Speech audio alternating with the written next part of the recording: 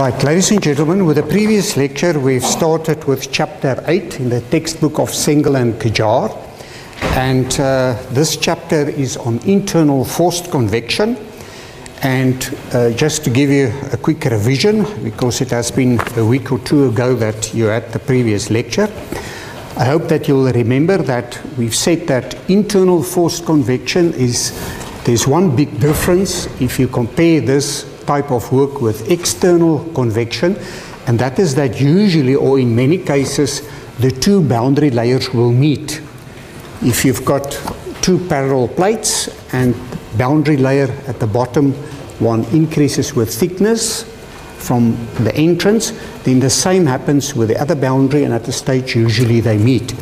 And this cause, and the result of that is that we have to be very careful to distinguish between developing flow and fully developed flow. I've also addressed with you the issue of the average velocity and the average temperature distribution that we work with in a pipe and or a tube. I've also said something about the differences between pipes and tubes and we also addressed the issue of the hydraulic diameter in terms of how to calculate it. So for all other geometries which are not round, if you do not have very specific detail information, then you can change that, change that geometry so that it becomes a circular tube. And then you can use the definition. You can calculate the Reynolds number by using the hydraulic diameter as well as the Nusselt number.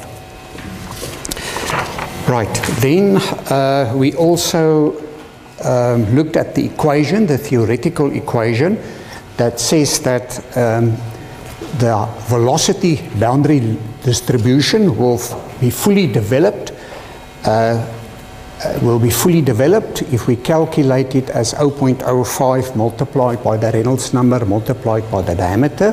You've done that in fluid mechanics. With heat transfer, there's only one term that is added, and that's the Prandtl number. So it is then actually equal to 0.05 Reynolds Prandtl multiplied by the diameter. Take note, this is a theoretical derivation, and I've mentioned to you that we've recently showed that it should actually be 0.12. So it is more than double that length before it takes to get fully developed. And this is a very important issue to know when you design heat exchangers. For turbulent flow, fortunately, it is always within 10 diameters. The flow is fully developed. And in general, if we look at uh, thermal, thermal analysis, then we can divide the problems in two types of problems. It can either be a constant heat flux problem or it can be a constant wall temperature problem. Now with the previous lecture I've asked you to divide your page in two so that you can see this next to each other so that you can see the differences. So this is the left side of my page and that is the right side of my page. This is schematically how we show a constant heat flux. Constant heat flux, something like Q dot H. Uh, you can also just write Q dot is equal to constant. So this can be, for example, an electrical resistance element that is being used on the outside or Joule heating, or it can be from a nuclear reaction. With this type of problem, the amount of heat for every one millimeter that the flow would flow into this tube, it will get the same amount of heat. Okay? With this one, it is different because the wall temperature remains constant. And if this temperature is lower than that temperature, then the biggest temperature difference will be at the inlet, but then the flow will start heating up and the temperature difference between the wall and the flow is going to decrease. So that is why they are fundamentally two different problems. So with this type of problem, if we look at typically the fluid that is being heated, then the temperature distribution will increase linearly. So that is Ti and that is Te. A linear increase in temperature. Now that is a big advantage because you can actually know exactly what is the average temperature as the flow develops through the tube. The wall temperature is going to do something like that and then like that. So that is the temperature of the surface. Uh, take note this Ts is now not equal to that temperature. Well, let me rather use Tw for the wall. That's better. Tw for the wall. Um, and let's, I can't use W now for the water, so I'm going to use TH20. Okay, so that you can distinguish the two. So that is typically how it looks like. And why do we have this?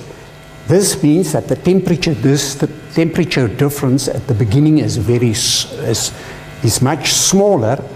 Why? Because the heat transfer coefficient is much higher because the boundary layer, layer is at its thinnest. So the flow is developing mm, up to there. DEV, remember that is what I've used previously to indicate the flow is developing and from there on FD the flow is fully developed.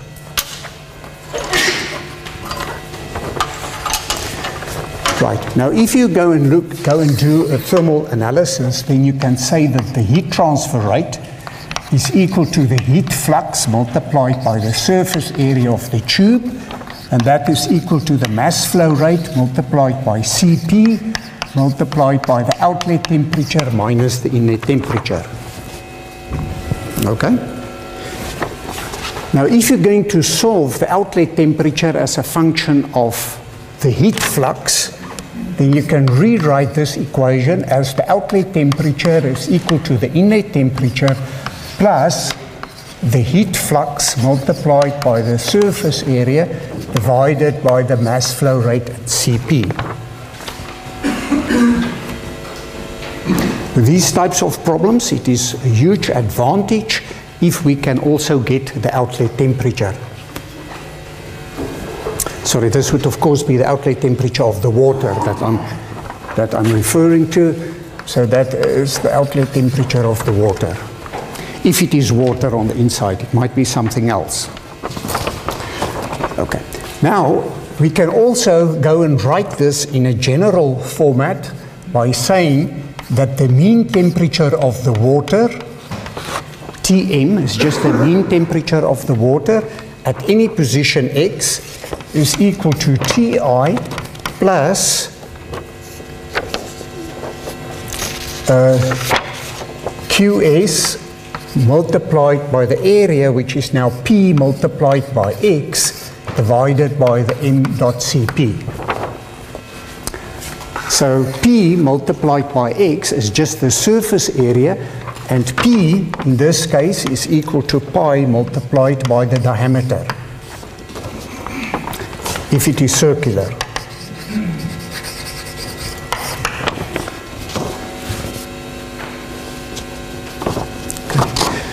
So the surface area, AS, is in general equal to pi d multiplied by the total tube length L, but if we want to know what is the surface area as a function of x, then we can just write it as PD multiplied by x.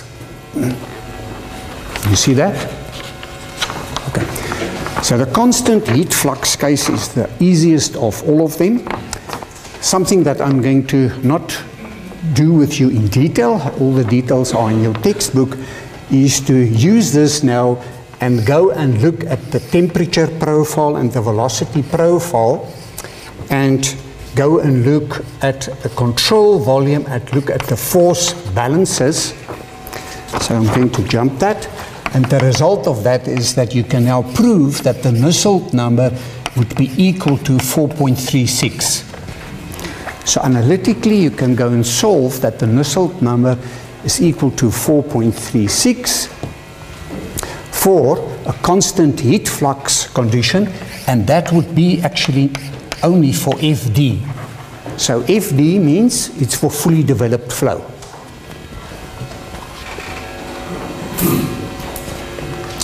I'm just running, I'm just running out of space here, but remember, what we've said is that the heat transfer coefficient as a function of x is going to do something like that. And that would be fully developed flow, fully developed. And this value here, that value there is the Nusselt number of 4.36. So the fully developed Nusselt number is 4.36. Okay, any questions on this part of the work? Do you understand that for constant heat flux condition? Constant heat flux condition and for laminar flow. Maybe just for safety, it is good if you actually can add here for laminar flow.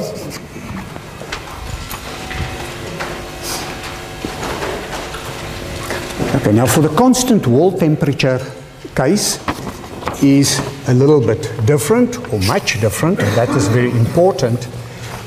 And if we now look at the temperature as a function of x, and let's suppose the wall temperature is higher than the temperature of the fluid on the inside, then it means that that temperature there is going to remain constant, Ts. And as I've discussed previously, if this wall is maybe at 100 degrees Celsius and you've got water flowing in here at 20, then here at the inlet, the temperature difference is going to be 80 degrees Celsius. Okay, so that would be Ti. And if this wall is very, very, very long, infinitely long, then this temperature will become, of the water will become 100. So it gets less as it flows downstream. So the temperature is going to do something like that of the water. Let's assume it is water flowing through the inside.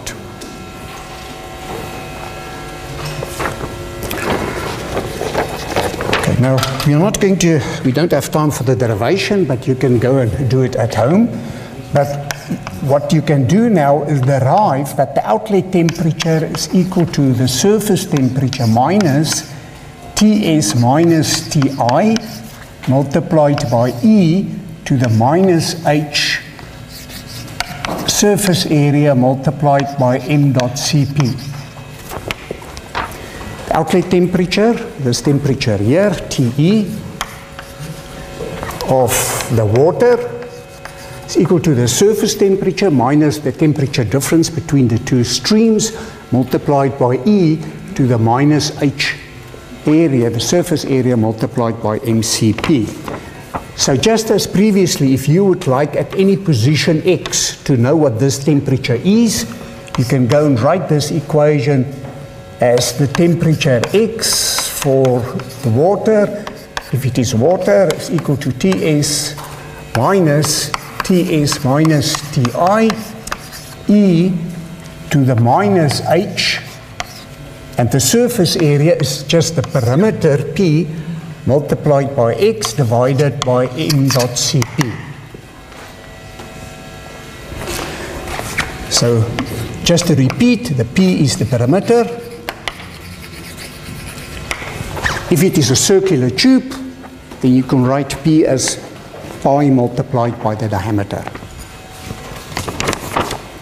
This term here is very important and in my opinion doesn't really get enough recognition in this textbook because if you design heat exchangers you can learn a lot from this term. This term is also being called the number of transfer units, the NTUs. And that is then equal to the heat transfer coefficient multiplied by the surface area, oops, divided by the mass flow rate and Cp. Okay, why is that important? It is important because if we go and look at the NTUs and the outlet temperature, and we look at the problem, where the inlet temperature is 20 degrees Celsius and the surface temperature is 100 degrees Celsius. And the NTUs is 0.01. Then this outlet temperature is going to be 20.8 typically. What would that mean? It would mean that from there to there, there's almost no increase in temperature. It's only going to increase with 0.8 degrees Celsius. So if you want heat transfer, then this tells you that if the NTUs are low, then you're going to get very little heat transfer. Your heat exchanger is not going to be effective. If the NTUs become 1, then the outlet temperature is going to increase to 70.6. So there will be a 50 degrees increase in temperature. If it becomes 3, then that temperature is 96. If it is 5, it is 99.5. And if it's 10, it is 100.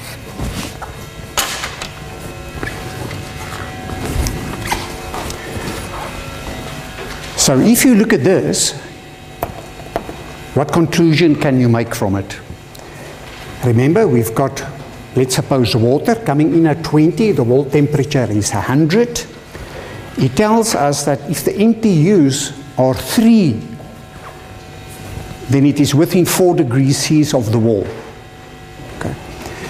If the NTUs is 5, then the temperature is going to be 99.5, so it's almost the surface temperature. And from 5 to 10, the temperature is going to increase just with 0.5 degrees Celsius. So from here to there, you've doubled the length of the heat exchanger. So in general, sort of as a rule of thumb, we would say to be avoided. So if you des des design a heat exchanger and the NTUs start becoming three and higher, then you start wasting material.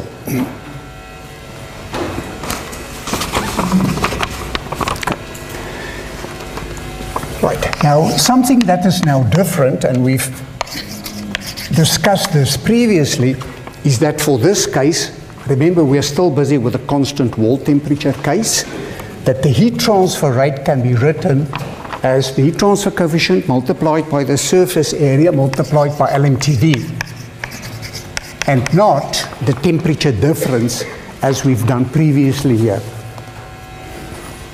Well, it is like that, but sorry, I, am going to explain just now. Okay. So the LMTD, what is this LMTD?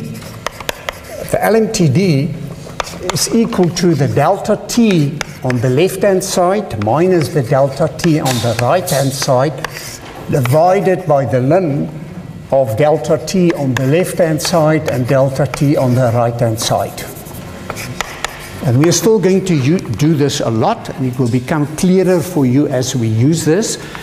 In the textbook, it has been written a little bit more complicated in terms of TI and TEs and TSs, etc. So it can look very complicated, but I'm going to show to you that it is extremely easy. So for this case, it is very important that we rather make use of the LMTD method if we make use of the heat transfer coefficient, if we make use of the heat transfer coefficient. Again, you can go through the derivation, and what is now different from this derivation, where you've got a constant heat flux, where the Nusselt number is 4.36, the Nusselt number is now going to be 3.66. And again, this is only valid for fully developed flow. So just like in the previous case, if we look at how the Nusselt number develops as a function of x, it's going to do something like that. And that is going to be fully developed flow, and that is going to be developing flow. And this Nusselt number here is going to be 3.66. So take note, it is just the fully developed part. It is not that part. While it is developing, it will be higher always than 3.66.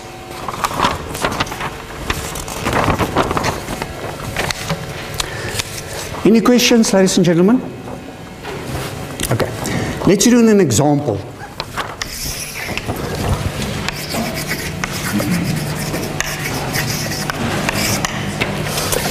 To this example, we've got a tube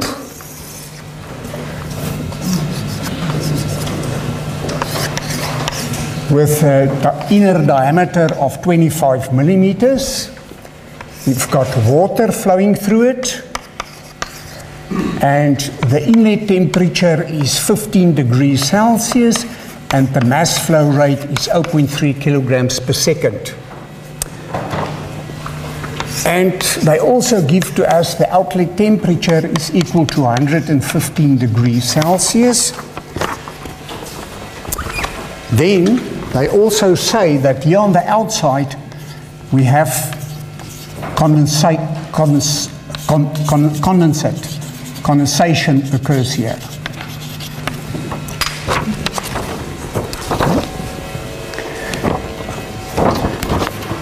And because of that, the average heat transfer coefficient is equal to 800 watts per square meter degrees Celsius, and this condensation occurs at a temperature of 120 degrees Celsius on the outside of the tube.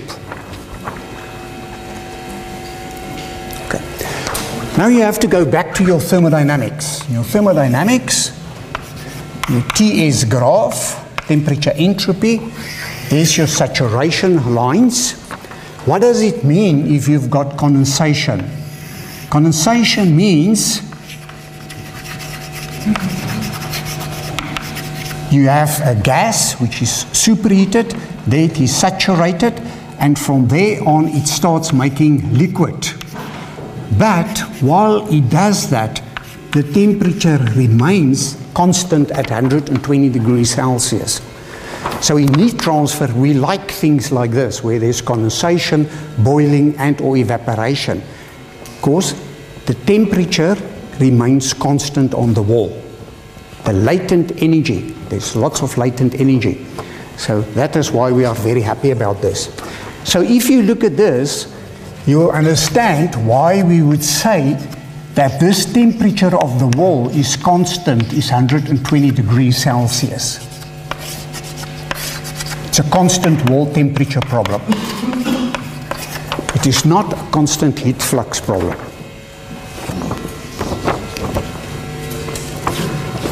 Right, so if we go and look now at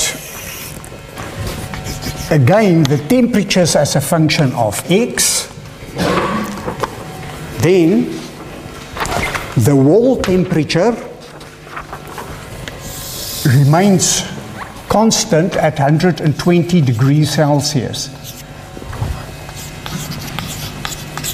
So that's Ts, the wall temperature. Okay. What they've asked us to determine is to determine the length of the tube required that can do that. What must they do? It must take water at 15 degrees Celsius and it must heat it to a temperature of 115 so it must be within five degrees of that temperature there.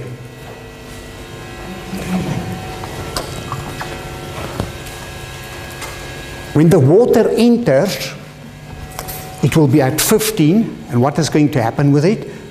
It? Its temperature is going to increase. And every time as it goes downstream, the temperature is going to keep on increasing. So the temperature profile is going to look at something like that. So that is the temperature of the water.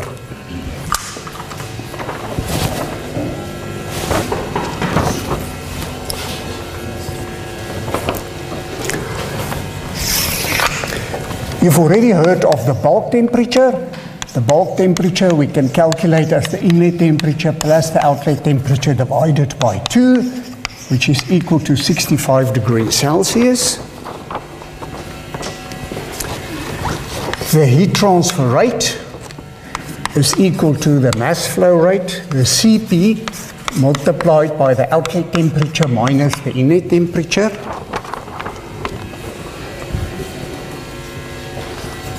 The mass flow rate is given as 0.3. The CP of water is 4187. The outlet temperature is 115. The inlet temperature is 15. So it's going to be uh, 125.6 kilowatts of heat transfer.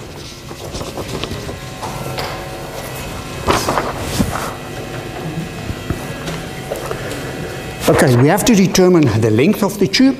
So it is now easy. We can say that the heat transfer rate is equal to the heat transfer coefficient multiplied by the area, the wall temperature minus the bulk. The heat transfer rate is 125.6 kilowatts.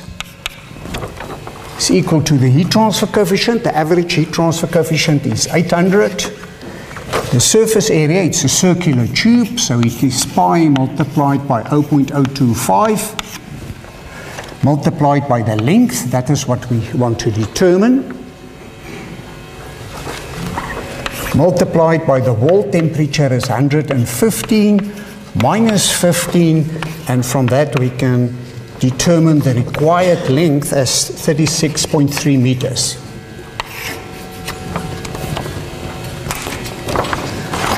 You agree? Why not? Ah, sorry, sorry. Okay. Uh, 115 minus 65. Okay? You agree? Anybody who do not agree? Make my day. Why not? Why did I use? The, oh, okay, sorry, sorry, okay. Um, yeah, 120.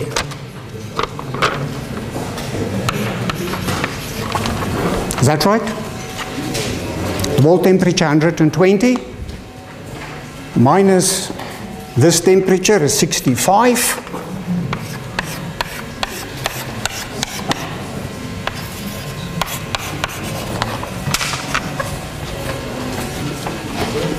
Yes? Delta. Yes. Okay. So, good. This is incorrect. Okay? But this is the thing that many people will do. And if you look at the sketch, you'll see why it is wrong. Do you see? Because the average temperature distribution is not Ts minus Tb because that is the temperature distribution that we've used in there. It must be the LMTD, because what the LMTD does is it actually do an integration of that E term, the E to the minus NTUs, and give us a much more accurate uh, description of the temperature distribution. So let's go and do it the right way. The right way is that the heat transfer rate is equal to the heat transfer coefficient multiplied by the area multiplied by LMTD. Okay. Now take note of the LMTD. Okay. I want to ask you, don't write. I'm going to give you an opportunity to write. Just, just look in terms of what I'm going to do on the board now. The LMTD and that's the advantage of making a sketch. Is on the left-hand side, this temperature distribution. That temperature distribution is 120 minus 15. Okay? This temperature distribution minus this temperature distribution. 120 minus 115 divided by the ln of that term, 120 minus 15, divided by 120 minus 115. Okay? So, It is this temperature distribution minus this temperature distribution, and you take the ln of the two minuses. Okay, it's very simple. It's very robust also. If you work with minuses, minus temperatures, I mean, you can get with refrigerants, you can get temperatures of minus 20 or whatever. But as long as you keep this, as long as you do this, it will always work out correctly. Right, so the LMTD is equal to actually 32.85 degrees Celsius. So coming back to this graph, the LMTD takes this area and in principle divide it by the length. So it gives us an average temperature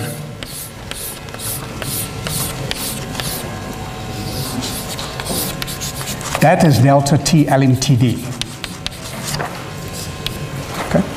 Take note, it is not it is not that temperature minus that temperature.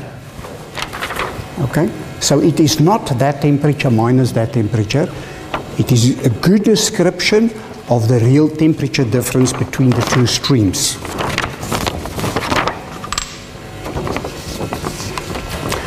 Right, if we now go back to this equation, heat transfer rate is 125.6 kilowatts, is then equal to the heat transfer coefficient, which has been given as 800, multiplied by the surface area is pi multiplied by the diameter, multiplied by L, and now we use a temperature difference of 32.85, the correct temperature difference. And if you go and calculate the length now, it is equal to 60.86 meters. So compare it with our previous calculation, it's almost double. So it makes a huge difference, very important.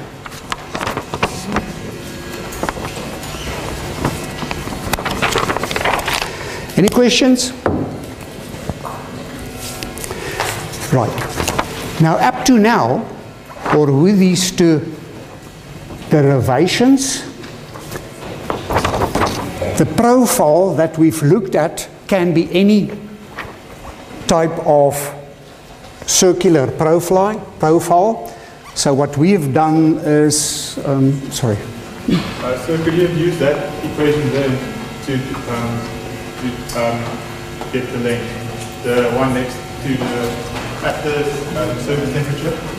Uh, which one? This? Second board, uh, first board. Uh, this, this board? Yeah, that one there. Yeah. We have used that one to get the length. Yes, you can do it with that one also. Yeah. So you're absolutely right. So what you can just do is you're going to say P moment multiplied by L, and you can calculate it with that equation also. It's a little bit more difficult, but yes, you can do directly with that equation also. Okay, coming back to this derivation, we've written this as multiplied by the surface area. And here I've said uh, P would e be equal to pi multiplied by the diameter if it is a circular profile like that. But then there are other profiles that we might also be interested in. And they are summarized in table 8.1. And they are summarized as firstly the geometry, and then A divided by B. And then they give the Nusselt number, and they would give it for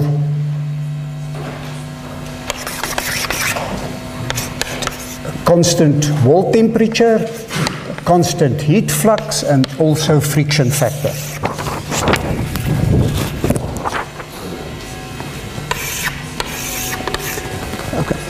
Now the first geometry is the circular one, is the one that we've considered just now.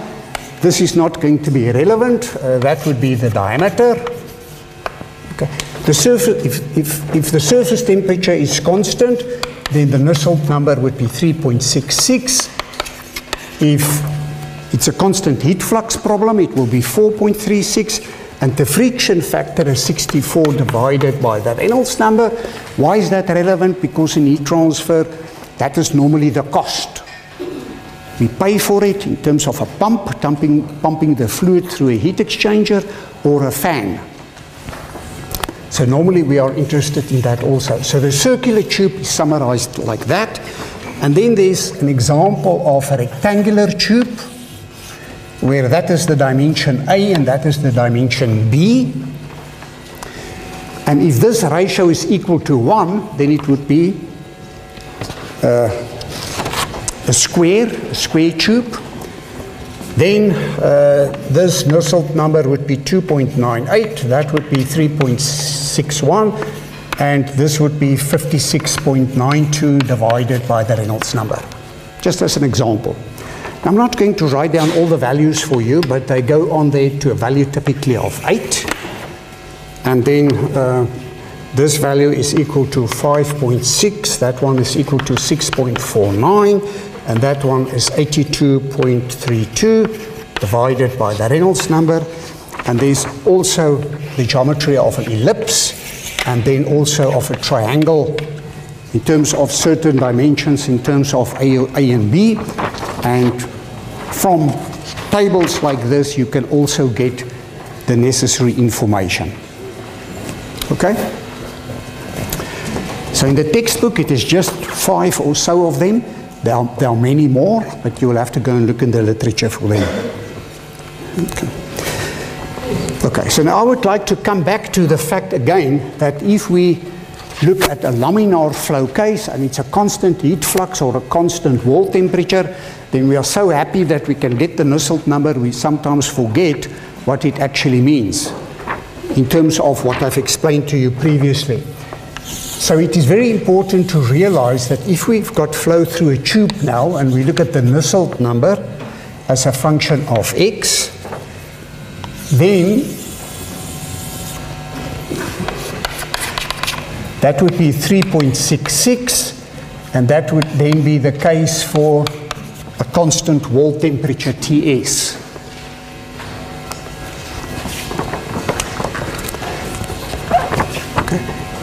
Now, for the case of a constant heat flux,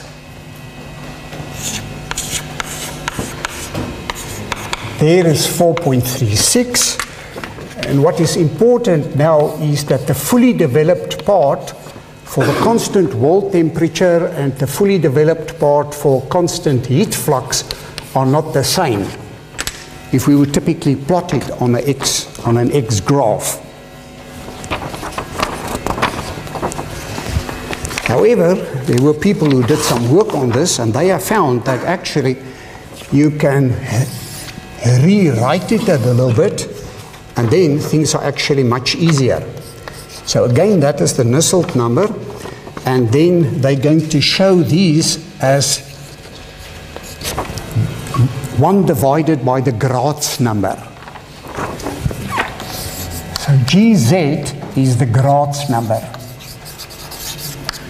And the Graetz number is equal to um, x divided by d uh, multiplied by Reynolds Prandtl.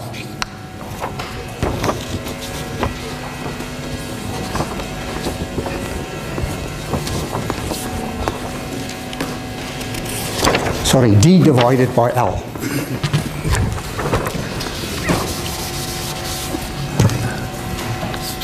d divided by L, so you can write it like that. And then if you go and replot these two curves, then you get to this magic value of 0.05. And what it does, what it then shows is that these two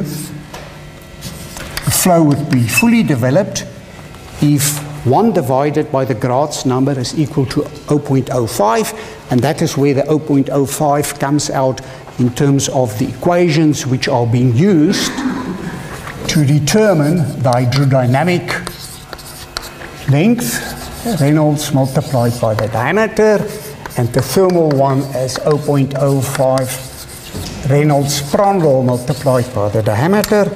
So this value of 0.05 and that value is the same value.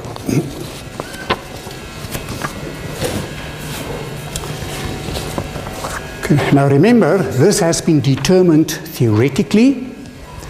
The equation that we've published this year actually shows it is equal to 0.12 Reynolds Prandtl diameter, and that is what we've determined experimentally, experiments.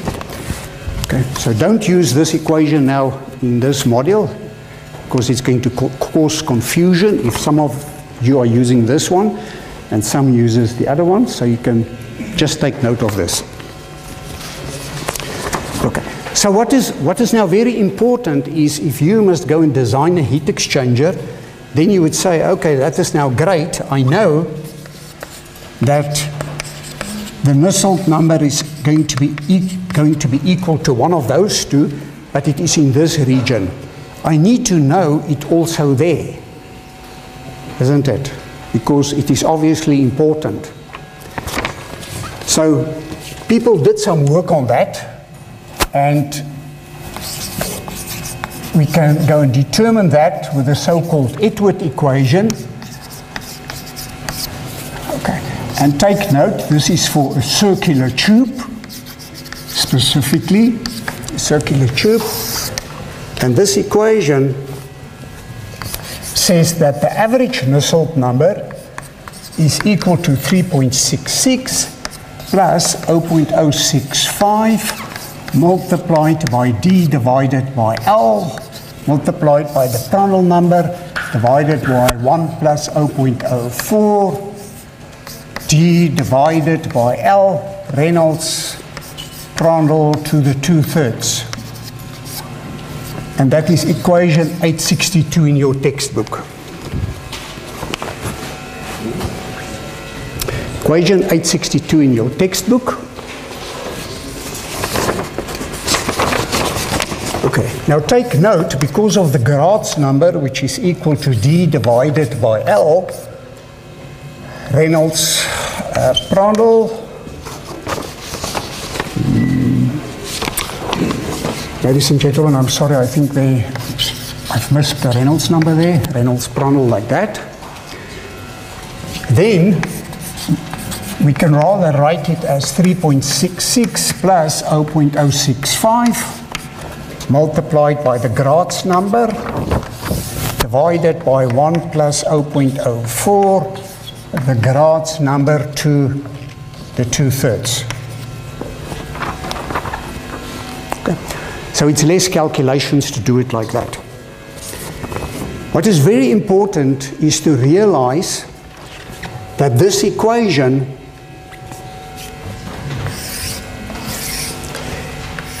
because people go and interpret this now different, differently. They would say, all right, I've got a certain length, and now I want to know what is the Nusselt number at that point there. So the Nusselt x. Okay. This equation does not give you that value.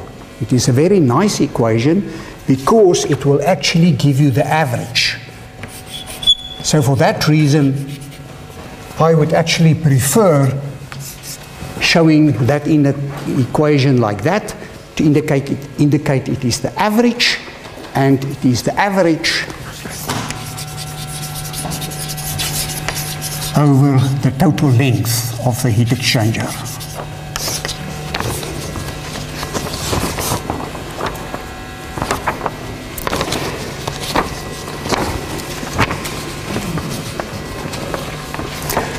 In the textbook, there's also an equation for, again, flow through two flat plates, okay, two flat plates with a constant wall temperature. So it is given there, you can take note of it. And then the last equation it gives is the so-called Sieder and Tate equation. Sieder and Tate. And that was developed, oh, I can't remember the year, and this Nusselt number is equal to 1.86 multiplied by Reynolds Prandtl diameter divided by the length and then multiplied by the viscosity at the bulk viscosity divided by the viscosity of the fluid on the surface to the 0.14.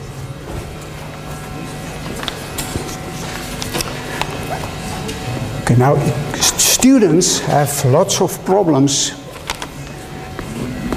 to identify which one of the two equations to use. I'm usually lazy, so I'm trying, I prefer to use the, the one that is the less work. What is different here, not only with this equation, but with many other equations, is this term. And the question is, if I've given you a problem like that, if you go and read this, it says that this equation should be used where there's big differences between the viscosity on the wall and the viscosity on the surface. Now, what is a big difference? Well, it is a judgment call. So if you look at this term and you go and calculate it, because it's to the power of 0.14, and let's suppose this is equal to 0.95, okay, then it will only make a 5% difference on your Nusselt number. Okay? If it is, of course, equal to 0.8, then you start making a 20% error. So depending on your application or depending on what you know, it is one of those things that you need to know and or take into consideration if necessary. And in many cases, you do not have to do that. Okay. Now, what is missing in the textbook is the equation for a constant heat flux. So now we've got this equation that can give this Nusselt number for us, but there's nothing in the textbook on this part. Now, although this part is sort of theoretically more easier to determine because you can track the bulk temperature of the water, the mean temperature very accurately, there is no simple equation for it. There is a so-called theoretical equation of Kakaç of uh, 1987 and the equation is something like this 11 divided by 48 plus 1 divided by the 2 and the sum of n equal to 1 to infinite of a term Cn and Rn, 1 an exponent to something long to the minus 1. The details is not important, okay? And in terms of you, these values, you have to go and get them as the eigenvalues of this problem. So it's lots of calculations to determine that. Take note, theoretical. The only equation that is available is the equation that we've published this year, Marilize, Everts, and I, which is the equation of Meyer and Everts, which is an experimental one, 2018. And it looks like this. The average Nusselt number is equal to 4.36 plus a Nusselt 1 equation plus a Nusselt 2 equation where the Nusselt num number, Nusselt 1 equation is something like this, 1 divided by L multiplied by a few terms. The Nusselt 2 is equal to 1 divided by L few terms. So it's still a few calculations, but it predicts 95% of the data with an error of 5%. So it's very accurate. You don't have to use that in this course. It is maybe for your postgraduate course, we can look at that. Okay? So, any questions, ladies and gentlemen? If not, then thank you very much. Then I'll see you again next week.